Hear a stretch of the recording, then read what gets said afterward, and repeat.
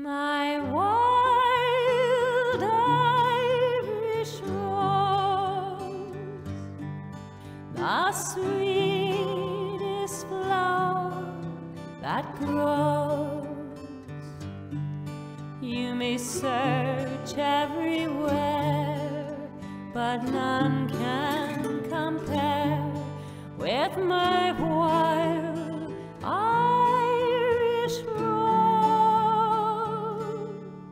My mother is moving today, out of the big house she's lived in for half her life and into an apartment where she will live for the rest of it.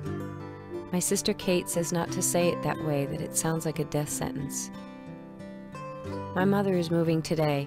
She's giving away all the crucifixes that protected each room. She'll only need three now.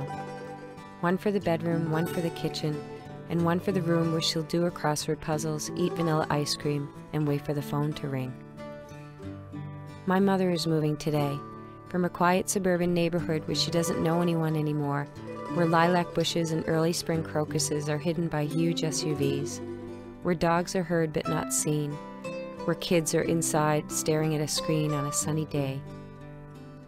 My mother is moving today, from a place that still has a garbage pail on the ground and a graveyard of charcoal grills in the backyard, where the scratchy webbing hangs from the rusty lawn chairs.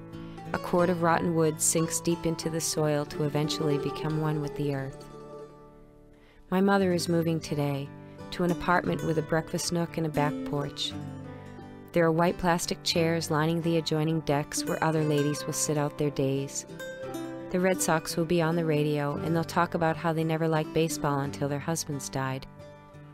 They like the familiar voice of the man who calls the games, and the crowd and the smack of the ball when the batter hits it out of the park. My mother is moving today. My sister Barb has hung all the family photos on the wall and hung the same curtains on the windows. Two of the best living room chairs were reupholstered, but the smell of lemon pledge and my dad's unfiltered cigarettes still linger in the wood frames. The faux oriental rug from that same living room has been cleaned, stained from decades of new puppies and dinner parties.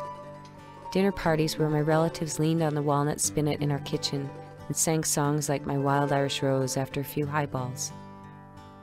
My mom is moving today.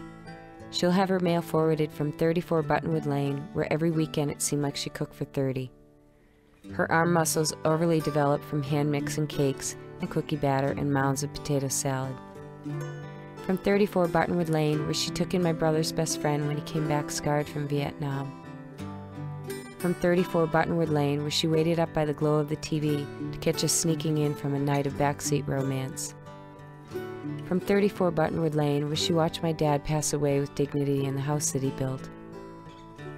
And from 34 Buttonwood Lane, where she'll leave a house key attached to a Celtic cross and pick up a key that says East Main Street, number one. And she is. A